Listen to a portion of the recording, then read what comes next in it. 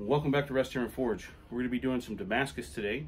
We're going to be using 1084 and 15 and 20. Now these are 48 inch sticks, 2 inches wide and 3 16ths of an inch thick. We're going to be cutting them into equal parts, but we're only going to be using 11 pieces, so you're going to have 12 pieces of each. We're going to be using 11 pieces of 15 and 20 and 12 pieces of 1084. We're going to be starting out with a 23 layer billet. It will be a dry weld. Now, if you're not familiar with what making Damascus, you have a wet weld, you have dry welds, you have uh, a dirty weld. We're going to be using a dry weld technique where we don't use any flux. We're going to be taking thin pieces of sheet metal and welding them around the outside to cover up the layers that you can, you can see. So you're going to use the top and bottom piece of the billet to be the top and bottom piece of the box. And that creates a non-atmospheric environment within that uh, billet so that you don't need to use any flux at all to keep the oxygen away. What we do need to do is get these things cut and cleaned of all oils and all mill scale that's on this uh, before we remotely do anything. And so that's what we're going to be doing today. We're going to be cutting, cleaning, stacking, and setting the, the billet today, and then take off the mild steel jacket that we're going to be putting on it. So let's get to work. Okay, so here we are at the vise. We're going to put our first piece in here. This is a 1084 high carbon steel, uh, 48 inches long. We're going to cut this in uh, uh, 4 inch segments.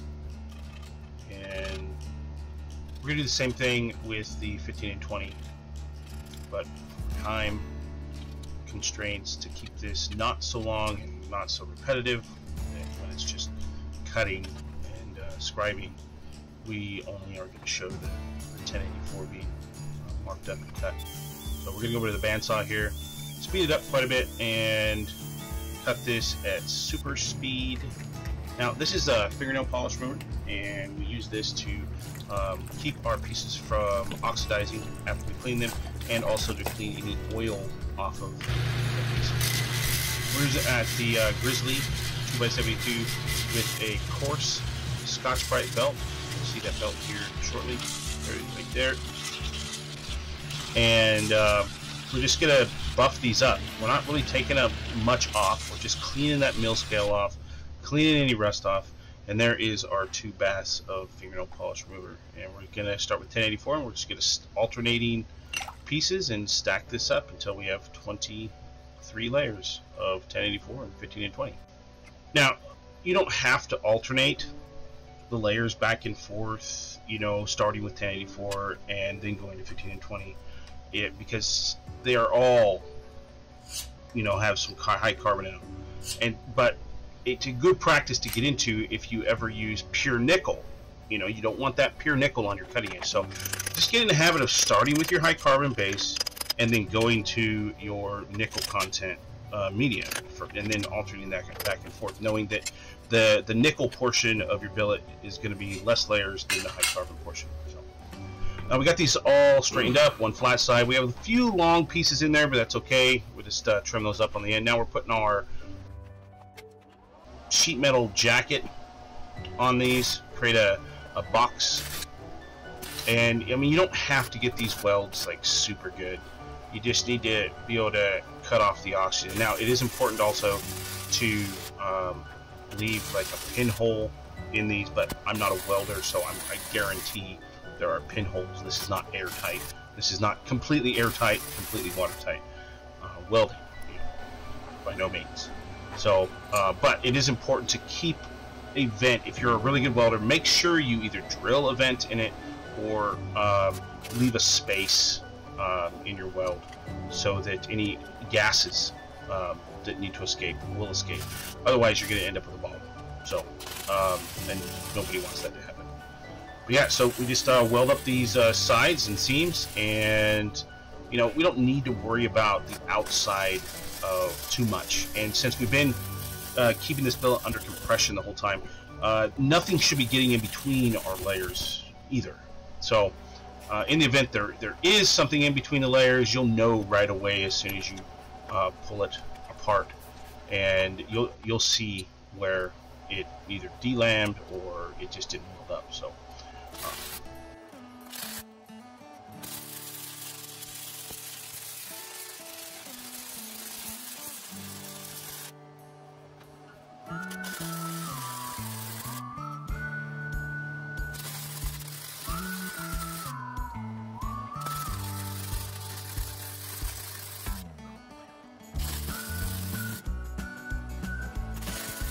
See a little pinhole there that I missed uh, a gap in the weld. That's okay, like I said before. So um, we're gonna weld up this last two seams here, and you'll see me measure it here in a minute. I actually forgot which side I was uh, on, so I had, to, I had, to, make sure that I was putting my, my stem, my stick on the right side.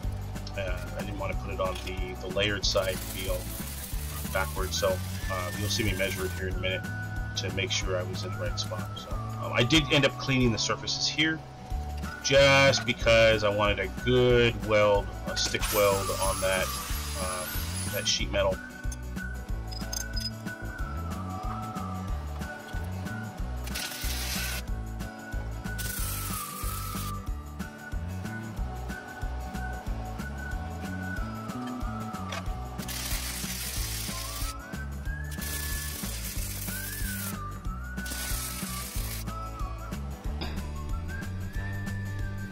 We're gonna light the forge here. A little bit of slow-mo theatrics. So this is our first heat, and we're just squishing this down. This isn't.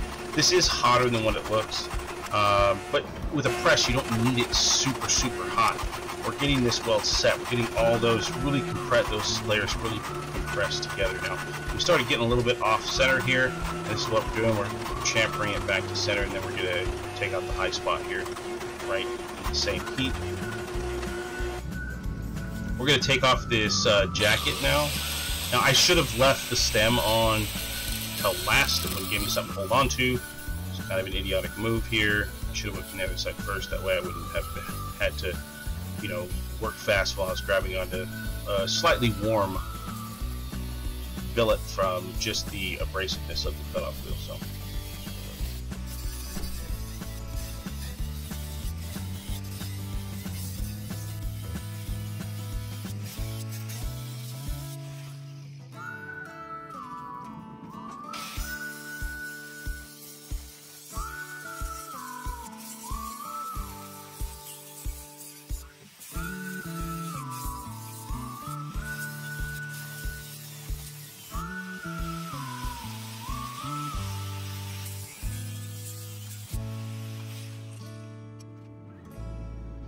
Those layers look really good in there. We could have got it a little bit more uh, compressed, but they're all stuck together pretty good. And, and uh, the, as of right now, we're looking at a really good uh, weld. Now, you'll see me put some uh, cross welds across the layers. And, you know, right here I do a, a single pass. I should have done a corner to corner X, but I didn't.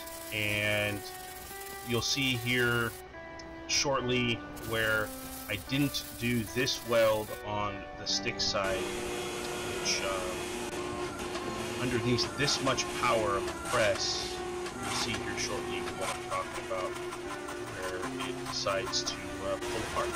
So this next heat, where you'll see it, right, you see right here, right there. Apart, there it is again, slow-mo, Now, what I should have done immediately was pull it out, flux it, and put it back in the forge. I didn't. I continued pressing, and we in this next heat right here, we didn't end up getting it fluxed, and we got it stuck. It worked out great, so it uh, turned out good. So stay tuned for part two. Thanks for viewing.